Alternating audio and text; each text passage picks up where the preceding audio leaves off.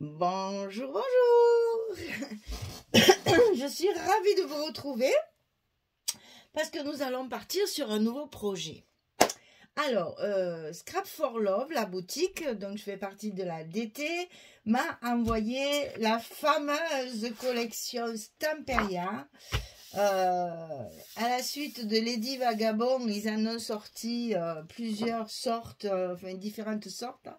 Et celle-là, alors celle-là, elle m'a tapé dans l'œil dès qu'elle est sortie. Et je me suis dit ça, euh, ça ne peut pas passer à côté. Il va falloir à tout prix que je la travaille. Donc, euh, en accord avec euh, Audrey de la boutique Scrap for Love, eh bien, elle m'a envoyé mon colis d'été du mois de septembre avec cette collection dedans. Inutile de vous dire que j'ai des fourmis plein les mains j'ai les, la création là qui est là, euh, je me, vraiment je vais m'éclater, je le sais, parce que l'album que j'avais fait avec les Vagabonds, euh, je m'étais vraiment bien amusée, donc je pense que là ça va être pareil.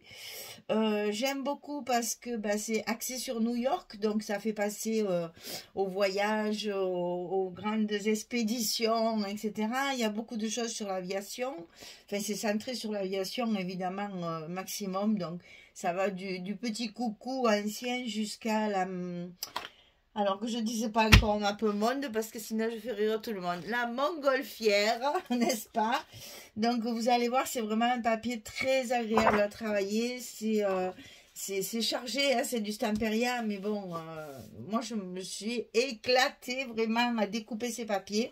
Bon, inutile de vous dire que là j'arrive, euh, tout est prêt, tout le tuto est prêt, j'ai plus qu'à vous le, à commencer à travailler avec vous.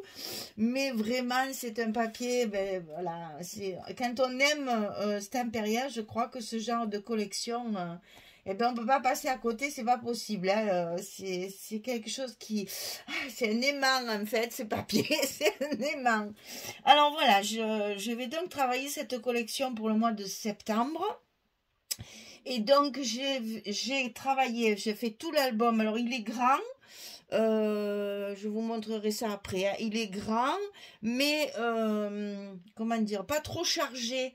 Avec les, les pages sont pas, quoi qu'il y en a une aussi, mais bon, euh, j'ai préféré, voilà, j'ai préféré favoriser le format plutôt que le volume. Alors je m'explique. Il y a tellement de belles images, il y a tellement de jolies choses qu'on ne peut pas couper dedans. C'est pas possible. Donc en travaillant ces papiers, on travaille sur du grand format et après, ben, en fonction de ce qu'on a comme matériel, on réduit évidemment le volume de nos pages. Mais vous allez voir, il n'y a aucun souci. J'ai quand même réussi à faire pas mal de choses hein, parce que vraiment, euh, c'est un plaisir. C'est vraiment... Euh, je suis toute excitée quand j'ai ce genre de papier. Ça. Ça m'empêche de dormir tellement tant que je n'ai pas commencé. Alors, donc, Sœur Vagabond Aviator de Stamperia. J'ai travaillé avec la collection principale, celle-ci, en 30-30. J'ai travaillé avec deux collections 30-30 complémentaires. Vous savez, alors je suis désolée, tout est découpé. Plus, j'ai plus de couverture. C'est ce qu'ils appellent les background de, assortis aux collections. Background. Euh, Stamperia, c'est la, collection complémentaire. Donc là, vous avez que des papiers de fond, en fait. Il a pratiquement pas d'image. Donc, j'ai travaillé avec une collection comme ça, deux collections comme ça. Alors, dans chaque collection, si je me souviens bien, il y a 10 feuilles, voilà. 10 feuilles, sachant qu'il y a les cartes, euh, les petites cartes, les tags, les machins, les découpages, les machins. Euh, on se retrouve avec 8 pages grand maximum. Là, l'avantage, c'est que derrière vous, la couverture, vous avez de très belles étiquettes. Et elles sont... C'est vrai que c'est en anglais, je sais, ça plaît pas toujours. Moi, ça m'énerve aussi. Euh, en plus, on peut pas retravailler pour mettre euh, un tampon français parce que ben on enlève les taches, on enlève le fond. Alors, on va essayer de s'en servir de ces étiquettes, je vais les découper pour, m'en servir pour des stops. Vous savez, les fameux stops sur les grandes pages ou pour pouvoir euh, mettre une carte. Donc, je vais m'en servir uniquement pour ça. Et j'ai quand même préparé mes tamponnages français. Mais elles sont trop belles. Ça serait vraiment dommage de ne pas s'en servir. Elles sont, ben, c'est vintage. C'est très vintage, hein, bien sûr. Mais en même temps, euh, enfin, je sais pas, moi j'adore. Pourtant, je suis très chabie, hein, mais alors, ce Stamperia, c'est euh, terrible, c'est terrible. Donc ça, c'est la collection Aviator. Hein. Attention, parce qu'il y en a eu beaucoup des collections, les 10 vagabonds et, et Sœurs vagabonds. Il y en a eu énormément hein, depuis le, la première qu'ils ont qu'ils avaient sorti. Euh, il y a eu le, celle en Chine ou au Japon, je sais plus. Enfin, il y a eu pas mal de choses. Attention, celle-là, c'est la dernière, c'est Aviator. Sœur Vagabond Aviator. Alors, il y a, la collection s'appelle Monsieur, mais en fait, il y a autant de monsieur que de madame. Donc, inutile de vous dire que j'ai beaucoup travaillé les madames, quand même. J'étais un peu sexiste sur le coup, là, parce qu'elles elles sont trop belles. C'est vraiment trop joli. Donc, une 30-30 principale, deux 30-30, euh, là aussi, il y en a 10, les background. Et ensuite, j'ai eu aussi la collection 2020. Alors, sur la page de fin de la collection, sur la 30-30, c'est pareil. Il y a plein de découpages. Alors, sur la 30-30, je les ai déjà découpés, bien entendu. Je les ai ancrés tout autour. Mais je ne vais pas les mater, celles-ci, parce que je pense que je vais Je les materai si besoin, on va dire. Je vais évidemment m'en servir beaucoup pour la couverture. Regardez-moi ça, ces petits oiseaux pleins de...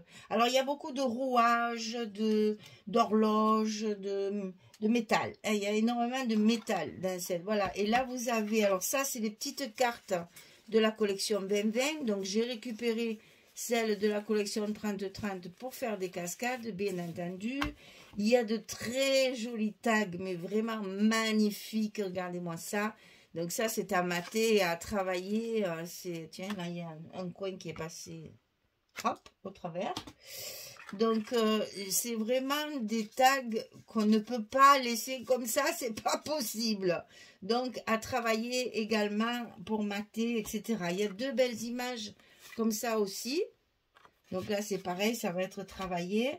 Et j'ai préparé ben, toutes mes petites étiquettes que j'aime bien faire. Donc là, je vous montre parce qu'il y a un travail de titan, comme d'habitude, parce que je, une fois que je suis lancée, je ne m'arrête plus. Donc, en fait, je les ai matées. Alors, déjà, j'ai fait mes, étiquettes en forme de ticket pour rester dans le vintage et dans l'ancien, hein, pour essayer de... Parce que comme c'est le voyage, ben, il va y avoir des tickets. Donc, euh, euh, le ticket, je l'ai maté déjà avec du bleu, vous savez, le bleu, le fameux bleu Stamperia du papier Florence, c'est la couleur iguana, vous le savez maintenant. Chaque fois que j'ai du Stamperia, les trois quarts du temps, il y a de l'iguana parce qu'il y a toujours ce bleu, ce bleu qui est vraiment, euh, j'allais dire, utilisé à presque toutes les collections de chez Stamperia.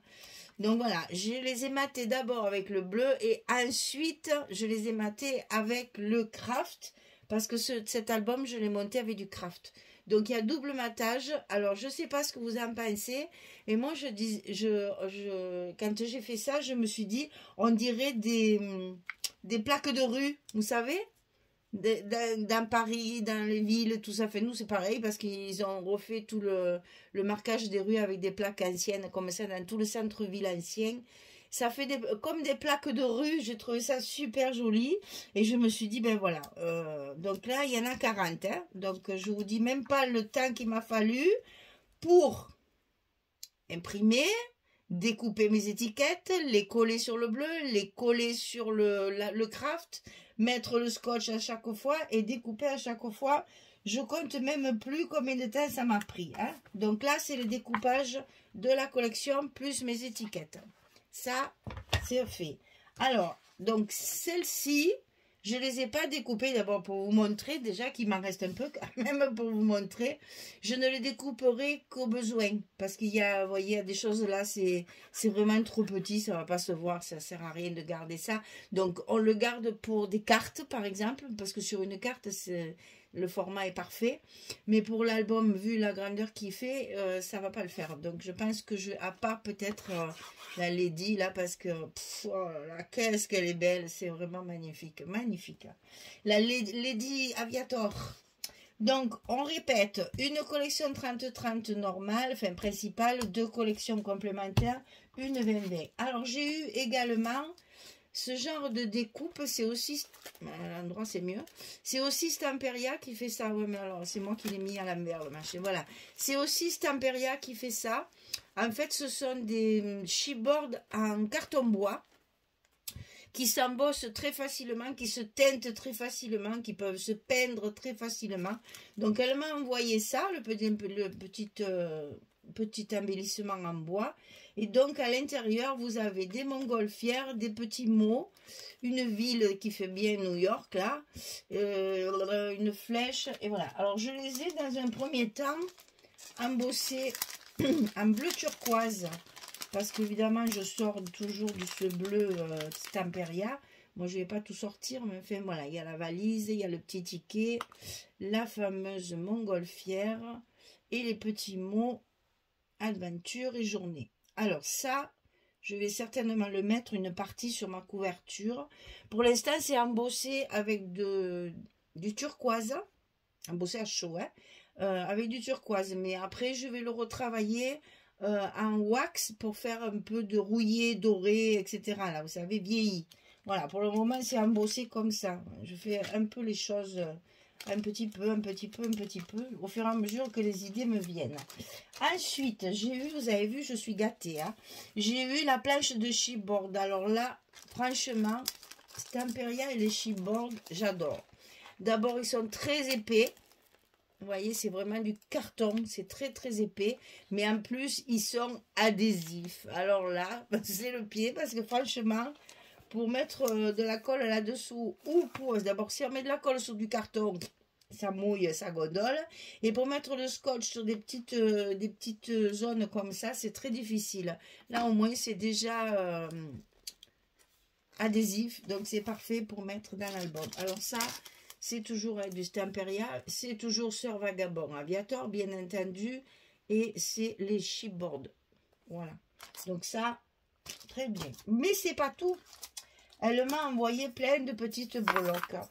Alors là, inutile de vous dire que je suis fan, fan, fan, fan. Parce qu'évidemment, on va mettre beaucoup d'embellissements métalliques hein, dans ce genre d'album.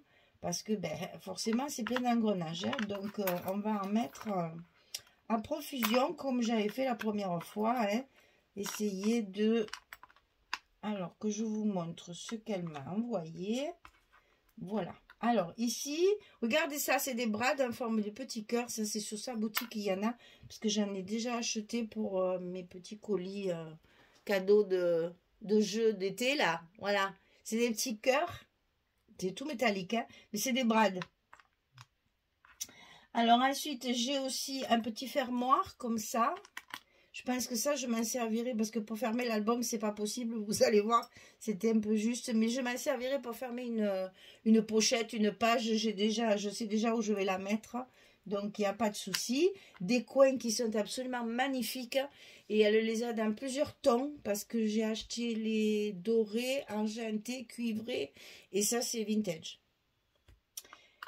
Et là aussi, il y avait aussi également en bois, des petits, des petits engrenages en bois que je vais pouvoir ben, passer euh, à la cire, n'est-ce pas, pour les vieillir aussi et les, et les, et les salir, les rouiller, les voilà.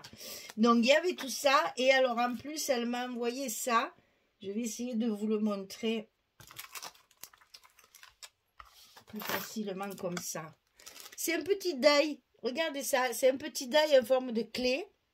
Alors ça, inutile de vous dire que ben voilà, vous pouvez le découper plusieurs fois et faire des petites clés. Il y en a plein, il y a plein de modèles. Vous allez voir sur la boutique, il y a plein de petits modèles. C'est magnifique, c'est tout mignon. Moi, j'adore les petites, les petits bébés. Les petits bébés. Hein, vous savez ce que c'est les bébés? Je vous l'ai déjà expliqué. Euh, tout ce qui est petits gadgets comme ça, moi j'adore parce que justement, ça peut servir pour tout que ce soit album, carte, euh, euh, Project Life, etc., etc.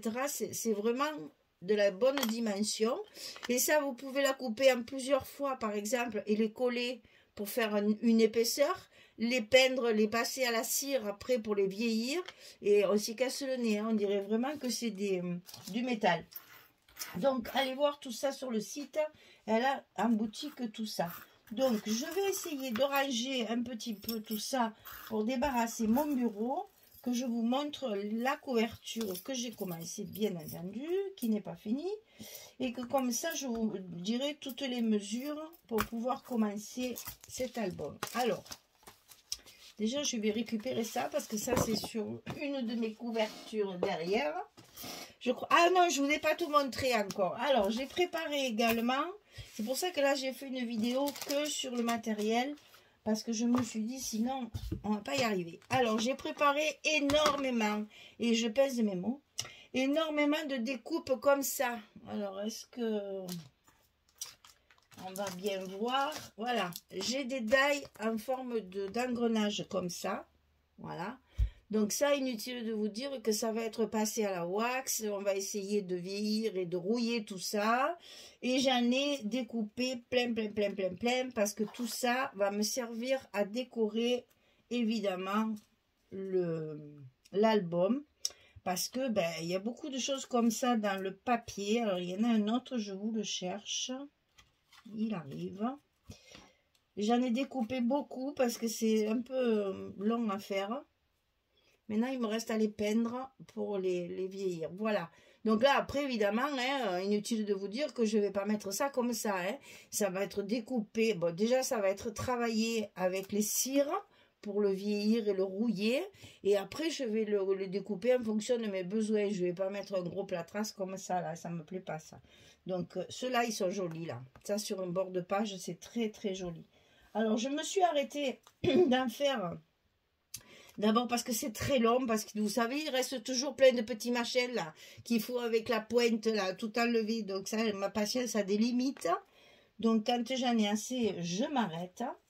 Et de temps en temps, j'en fais d'autres. Donc ça, je vais, ça c'est très très joli. C'est un die aussi. Oh, ne me demandez pas la marque. Hein, parce que je ne garde pas les emballages. Mais celui-là, il va bien, il fait bien avec.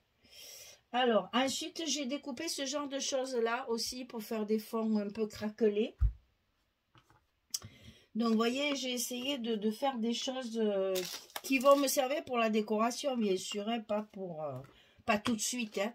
Et alors après, alors, vous, connaissez sur la page Facebook euh, Madi, qui nous fait des choses toujours magnifiques. Hein. Et m'a dit, m'avait envoyé, je ne sais plus pour quelle occasion, je crois que c'est pour Noël, m'avait envoyé un tas de découpes toutes prêtes comme ça. Alors inutile de vous dire que j'ai tout ressorti. Parce que je vais certainement m'en servir. Regardez-moi ça comme c'est joli. Ah ben, je devrais faire ça aussi. Et tout ça, ça va être... Alors, c'est vrai qu'au départ, on dit, oh, ça fait très shabby. Pas du tout. Si vous l'utilisez dans un vintage en le vieillissant et en le mettant euh, à bon escient, on va dire, il y a même des petites pochettes comme ça, ça peut servir pour tout. Et comme elle me les a découpées en noir, ça c'est génial. Parce qu'en blanc, c'est embêtant pour le, aviator, là. Il aurait fallu que je peigne tout en noir. Là, au moins, il y en avait des blanches aussi, mais euh, je vais utiliser que les noirs. Alors, merci Maddy parce que grâce à vous, je vais pouvoir faire des décorations dans mon album qui vont être super jolies et qui vont très très bien aller avec le, avec le, style du papier. Voilà, ça, ça, va être un régal. Alors, il y a, ce genre-là aussi. Ça, c'est euh, superbe parce que pour une pochette, là, c'est grand. Ça, si je me souviens bien, c'est des... Cela, c'est des Créalis. Si je me souviens bien de la marque. Alors, par contre, ça, je l'ai gardé parce que c'est trop joli. Je voulais vous le montrer. Il y a celle-ci aussi qui est très, très belle, là. Ah, il y a celle-ci, il n'y en a pas une elle-même, je vous dis, elle m'a inondé de jolies choses. Et moi, tout ça, bien sûr, je garde précieusement. Et dès que je peux, hop, hop, hop, je les mets. Oh, elle est belle, celle-là. Je les mets, évidemment, à l'honneur dans mes albums. Je vous ai gardé celle-ci que je n'utiliserai pas ici. Mais regardez-moi cette découpe de... Ça brille, hein Voilà. Cette découpe de, de cage à magnifique. Donc, si je l'avais sorti pour mon album euh, Les Moineaux, là, je l'aurais utilisé. Ben voilà, c'est toujours pareil. On a trop de choses dans nos placards et on finit qu'on ne sait plus. Alors, donc ça, je vous ai montré. Ça, je vous ai montré. Tout ça, je vous ai montré. Ok, maintenant les dimensions de la couverture. Alors, vous allez voir, on va travailler sur du grand format. Mais je vous assure qu'après, ça fait pas trop. Alors, je vais baisser un petit peu là pour euh, que vous voyez mieux quand même. Ça, ça, va pas faire volumineux en fait. Hein. C'est juste que pour les... Toujours pareil, hein, je m'inspire du papier. Donc, pour les grandes images qu'il y a à l'intérieur de la, collection, je ne pouvais pas faire autrement que de prendre du grand format. Mais c'est pas grave, vous allez voir, c'est pareil, hein, qu'on travaille sur du grand ou du petit. J'ai beaucoup de fournitures, on s'éclate, on y va. Alors, la couverture.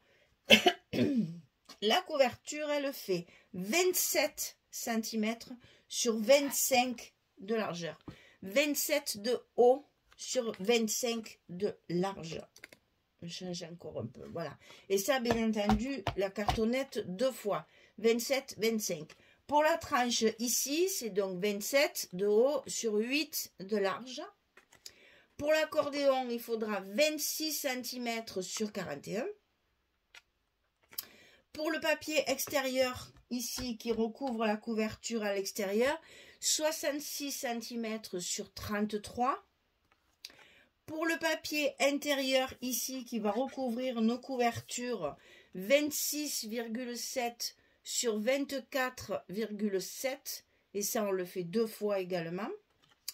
Et pour nos blocs, on va faire du 54 sur 23 et du côté 54 on va plier à 26 et à 52 il vous restera les 2 cm de languette pour fermer vos blocs. Alors attention, quatre blocs identiques. Cette fois, il n'y a pas de déstructuré. Le déstructuré, il est dans les pages. Donc, 54 cm sur 23. Ça va vous faire des pages, ici, de 26 sur 23. Donc, 54, on plie à 26 et à 52. Alors, comme d'habitude, je vous laisse le petit carton pour arrêt sur image. Pour que vous puissiez bien tout marquer. Voilà, donc je vous rappelle que c'est dans le cadre de l'ADT de Scrap for Love que tout le matériel que j'ai utilisé vient de la boutique. Elle m'a gâté. Alors, cette collection, c'est un régal. Voilà. Alors, je me suis déjà bien amusée à faire toutes mes décorations. Maintenant, je me suis amusée à découper mes pages et à monter mon truc, là. Vous allez voir que j'ai même, euh, je suis même allée jusqu'à découper ça. Enfin, je vous expliquerai ça après. Mais j'ai fait un peu des nouveautés pour changer un petit peu. Et puis, ce papier, c'est toujours pareil. Alors, c'est pas beau de dire ça pour les autres marques. C'est vrai, c'est pas joli, mais je m'en fous. J'assume complètement. Le papier Stamperia étant mon préféré, à chaque fois, j'ai la même sensation. C'est vraiment, vraiment euh, extraordinaire de travailler ces collections. Vraiment. C'est du vintage, mais en même temps, c'est très moderne. C'est une très bonne qualité aussi. Hein, ça, c'est pas non plus... Euh, pas cracher dessus. Hein. Donc voilà, c'est... Puis je sais pas, ça m'inspire, c'est travaillé, c'est... Il y a beaucoup... De... Alors c'est très chargé et assez sombre quand même. Hein. Donc on va y mettre un peu du doré, on va y mettre du, du brillant pour métallique pour justement un peu euh, rehausser tout ça parce que c'est vrai que c'est très très foncé donc euh, on a beaucoup de marron vous voyez on a des marrons très foncés comme ça là mais il y a toujours ce bleu les arabesques bleues ce fameux bleu euh, je sais pas, il doit avoir que celui-là à Temperia. Mais c'est pratique parce qu'au moins quand on a le, on fait une grosse réserve de papier iguana et du coup chaque fois qu'ils sortent une collection allez le iguana il sert très bien. Il y va bien je voudrais mieux trouver. Attendez j'arrive.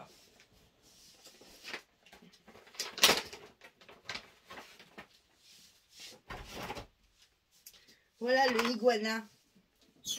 Il ne peut pas mieux aller. Franchement c'est vraiment le la couleur qu'il faut pour Stamperia. C'est pratiquement toutes les collections, il faut mettre ce papier bleu là. Alors je vous rappelle que c'est la marque Florence et que la couleur elle s'appelle Iguana. Vous savez, celles qui, sont, ont l'habitude de me suivre, je l'utilise tout le temps. Voilà, ben je vous ai tout dit. Je pense que je vais m'arrêter là parce qu'à la prochaine vidéo, on va faire les couvertures intérieures ici parce que tout ça est quand même assez long. Donc j'ai préféré vous montrer tout le matériel que je vais utiliser. Et puis comme ça, vous savez à peu près à quoi vous en tenir pour commencer cet album. Ça va faire euh, une dizaine de vidéos, je pense, comme d'habitude. Euh, parce qu'il y a un gros travail de décoration. Donc, euh, peut-être qu'on fera la décoration d'une page ensemble. Enfin, ça, je verrai en fonction de, du temps. Parce que c'est toujours pareil.